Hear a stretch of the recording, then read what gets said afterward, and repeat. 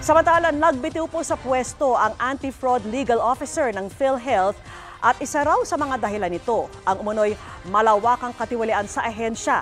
Itinanggi ng pamunuan ng PhilHealth ang paratang at giit nila may ibang motibo ang kasamahan nilang nag-resign. Nakatutok si Maki Pulido. Pinaiimbestigahan na ni Pangulong Duterte ang mga sumingaw na alegasyon ng katiwalian sa Philippine Health Insurance Corporation o PhilHealth. Sa gitna pa naman yan ng COVID-19 pandemic. Ang pinag-ugatan ngayon ang resignation letter ng anti-fraud legal officer ng PhilHealth na si Attorney Thorson Keith kung saan sinabi inilagay niya ang anyay malawakang katiwalian sa ahensya bilang isa sa dahilan ng kanyang pagbibitiw. Nakakuha na ang palasyo ng kopya ng resignation letter ni Keith. Ang kanyang uh, katungkulan ay talagang uh, imbestigahan ang fraud at graft dyan sa PhilHealth pero dun sa kanyang uh, liham, eh, sinasabi po niya na um, well, iko-quote ko na lang po ah, dahil siya naman yung nagpadala sa akin. No?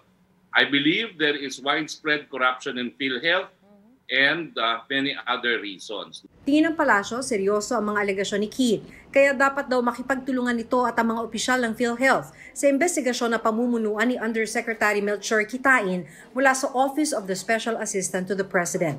Walang inilagay na detalye si Keith sa kanyang resignation letter tungkol sa umunoy katiwalian. Pero sabi ni Presidential Spokesperson Harry Roque, may kinalaman ito sa umunoy overpricing daw sa halos 2 billion pesos na IT system ng PhilHealth, kabilang ang 734 million peso IT component na hindi raw aprobado ng Department of Information and Communications Technology. Lahat po yung mga pribadong direktor ay uh, hindi sang-ayon dyan, among others, kasi hindi na-aproba ng DICT yung 734 million worth na component at nagsasabi sila na meron ding overprice.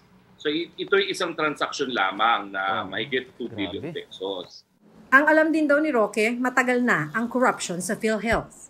Ang masasabi ko po, yung mga matatagal na dyan sa PhilHealth dahil uh, na-shock nga eh yung sa pagpupulong. Okay. Mas nakita mga sinabi kong salita, sabi ko, ang corruption dyan sa PhilHealth mas matindi pa sa customs. Ang aking conclusion dyan talaga, may sindikato talaga at ito po yung mga pinakamatataas na career executives dyan sa PhilHealth. Hindi naman okay. po lahat, hindi natin linalahat, pero ang talagang matitindi po dyan, yung mga pinakamatataas ang katungkulan dahil silang bumubuo po ng mga polisiya ng PhilHealth. Sabi ni Senator Panfilo Lacson, maging ang Senado, ikinakasa na raw ang investigasyon hinggil dito. Nag-usap na raw sila ni Senate President Tito Soto at isang Senate Committee on the Whole ang bubuin nila. Kung bibilangin natin yung kabuuan ng mga questionable na mga items o transaksyon, doon sa agenda na yon, pumapalo siya ng almost 1 billion. So ang uh, ang pinanggalingan naman noon yung internal audit mismo ng ng report ng PhilHealth. Mag-iimbestiga na rin daw si Health Secretary Francisco Duque. We will wait for PhilHealth to issue their statement. Pero kapag ganito naman ang uh, Secretary of Health being the chair of the board, uh, he sits down no with the officials para maiayos niya kung ano man yung mga mga issues uh, among them. Ang chairperson ng PhilHealth na si Ricardo Morales itinanggi ang akusasyong may malawakang corruption sa ahensya. Alam mo, Maki, sa laki ba naman ng PhilHealth? 50,000 transactions a day. We're paying out 2 to 3 billion, 130 uh, branches and offices. There are bound to be some inefficiencies dyan, mga, you know, uh, gaps, inefficiencies. Pero is this organized, directed corruption by shortcomings? But uh, we're dealing with them. Pero hindi naman daw niya sinasabi na malinis at walang katiwalian ang ahensya. Kaya nga raw itinutulak niya ang IT system at ginawa itong prioridad para mabawasan ng korupsyon at mas mapabuti ang serbisyo at koleksyon ng PhilHealth. Hindi rin daw ito overpriced at underpriced pa raw. May mga minana na rin daw siyang anomalya ng umupo sa PhilHealth. We provided data to uh, documents to the NBI and the Presidential Anti-Corruption Commission. And uh, we're waiting for them kasi sila magpa-file ng kaso sa DOJ. Internally naman, meron lang kaming investigation but I'm not yet ready to ano to reveal the details kasi in the process pa eh.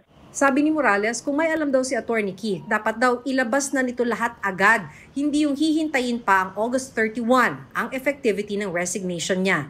Tingin niya, malamang gumaganti lang ito dahil nag-apply daw na regional vice president pero di napagbigyan dahil hindi naman kwalipikado. Kung meron siyang data, katulad ni Secretary Roque, magsama sila, baka meron, pag nagsama sila, baka may mabuo sila. May mensahe rin siya kay Roque. He files the case. What's keeping him? Utang na loob. I thought he was a lawyer.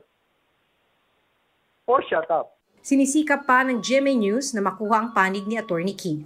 Maki Pulido nakatutok 24 oras.